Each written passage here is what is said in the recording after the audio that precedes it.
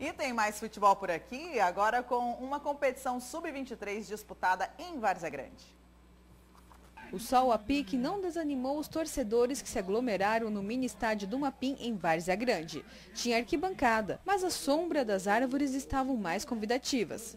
Tudo isso para ver a semifinal de quatro times. Boca Juniors contra Thiago Lanches e Favelinha contra Milan, que é o atual campeão. É um campeonato muito disputado aqui em Várzea Grande, é um campeonato bem falado, bem conhecido.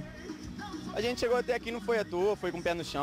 Temos um plantel muito bom, estamos enfrentando uma equipe muito boa do outro lado.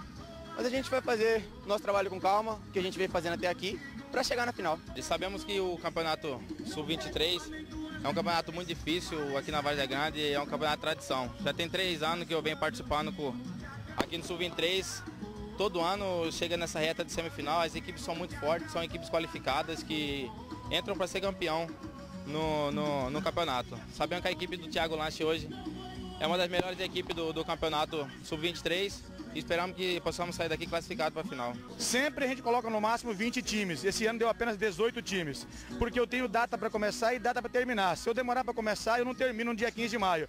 Então esse ano participaram 18 equipes e hoje quatro disputando a vaga aí da grande final do dia 15. O campeonato já é tradicional em Várzea Grande, tanto que a final será realizada no aniversário da cidade industrial. Há nove anos nós fazemos categoria sub-3 jogador de linha até 23 anos e o goleiro até 27 anos. E hoje chegando aqui à semifinal, definindo quem são os finalistas para a grande final que acontece sempre no dia 15 de maio todo ano, a final dessa Copa, ela acontece no dia do aniversário da cidade, uma forma de nós também homenagear a nossa cidade industrial.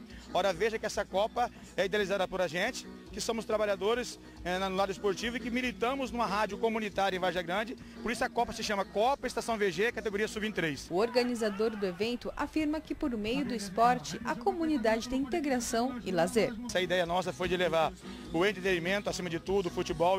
Eu rodo nas comunidades. Cada ano eu faço a final num bairro.